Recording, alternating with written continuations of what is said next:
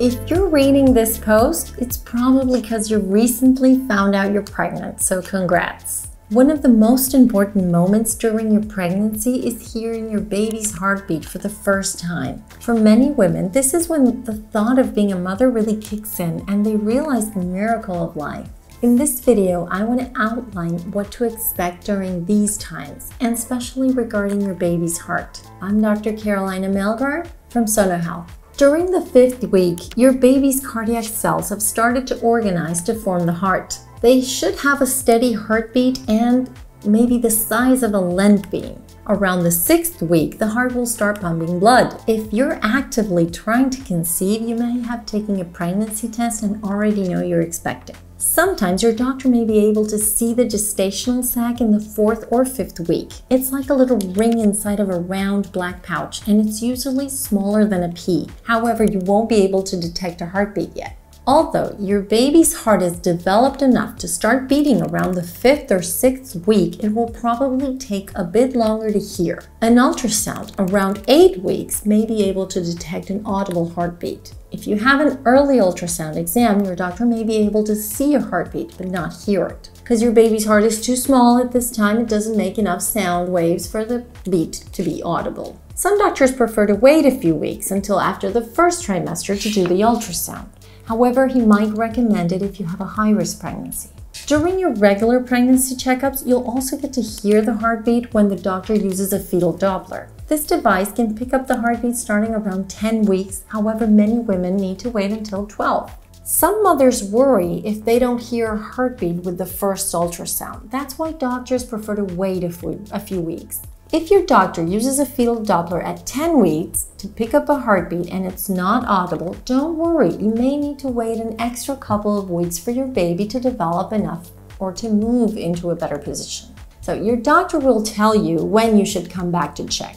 Always tell your doctor if you feel any symptoms that call your attention, especially vaginal bleeding, which may be followed by cramping and pain in your lower abdomen. The first time you hear your baby's heartbeat will probably be during an ultrasound exam.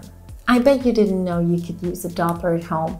If you're a worrier like me or had miscarriages before, hearing your baby's heartbeat can give you the reassurance that your baby's okay. It can also be a bonding activity for the entire family. I recommend that you first try it around 12 weeks. It's true, you can hear a heartbeat early as 8 or 10 weeks. However, it's more likely that you won't be able to find it, and this can cause unnecessary anxiety. I always thought it sounded like galloping horses. If you want, you can click here to listen to a fetal Doppler I did the other day. Fetal Dopplers are easy to use. Simply lie down, spread some ultrasound gel on your lower belly, and turn the probe on. Glide the probe in a rocking motion until you detect a heartbeat. If you can't detect a heartbeat at 12 weeks or earlier, it could be too early.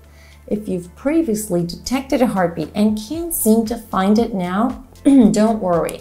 Your baby could simply be in a different position. So take a break and try again in a few hours or the next day.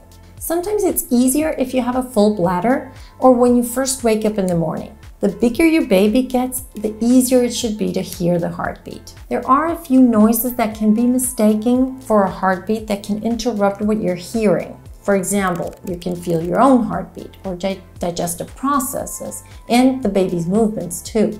Remember that your heartbeat is normally from 60 to 100 beats per minute. So if the monitor displays that heart rate, it's very likely that it's picking up on your own arteries. So remember that the fetal Dopplers can't diagnose medical problems and they don't replace checkups. So if you think you detect an irregularity, you can record the sound and have your doctor listen. So tell me, have you heard your baby's heartbeat yet? Let me know in the comments below. So if you like the video, follow and subscribe.